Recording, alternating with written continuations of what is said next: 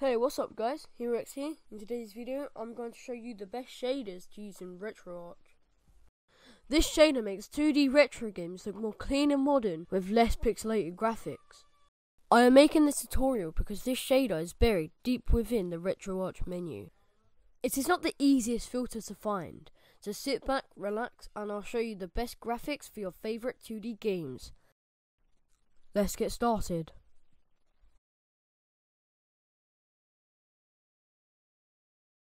First step, load up RetroArch. Then press load content. Then storage emulated slash zero and go down to ROMs. And then your favorite gaming system. And then choose your favorite game.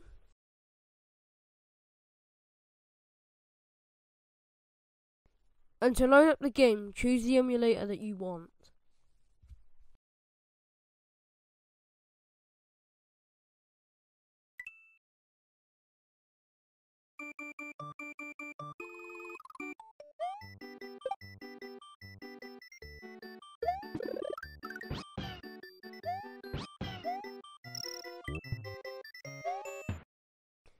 There, you got your game running. Great. Now go down to shaders.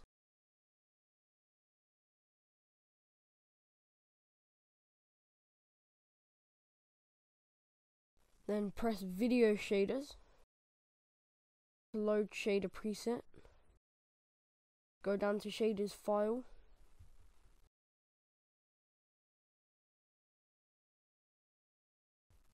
Then go to presets and tap on that.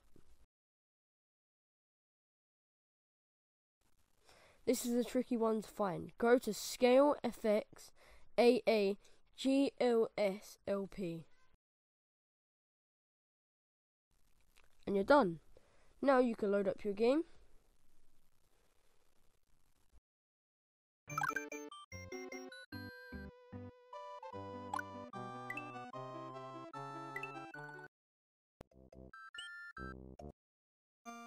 Here is just a quick comparison of what the game looks like with a shader and without a shader.